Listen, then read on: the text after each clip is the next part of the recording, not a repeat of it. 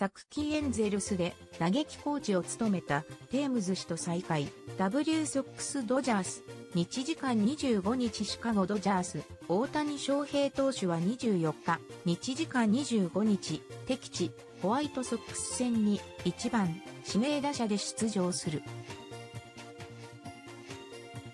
試合前には、昨季、エンゼルスで打撃コーチを務めたマーカス・テームズ氏と再会。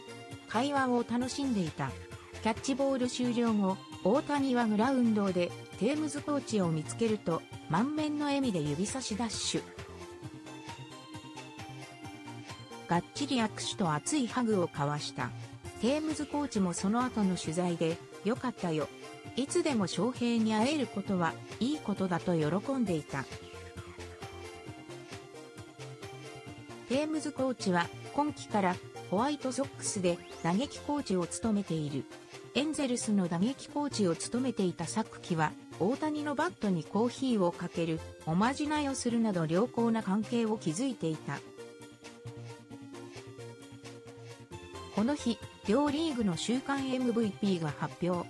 大谷は24打数11安打の打率、458、4塁打、11打点をマークし、今季2度目の受賞を果たした。テームズコーチも、彼は元気だったよ。私は、彼の打席をよく見てきた。で、彼の状態は今とてもいいと絶賛していた。大谷は古巣、エンゼルス戦の2戦連発を含む直近3試合連続塁打を放っている。テームズコーチは過去にも見たことあるよ。今の彼に嫉妬を投げれば代償を払わされる。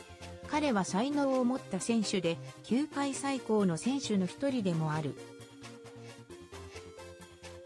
去年、そんな選手を近くで目撃できたことは嬉しいことだった。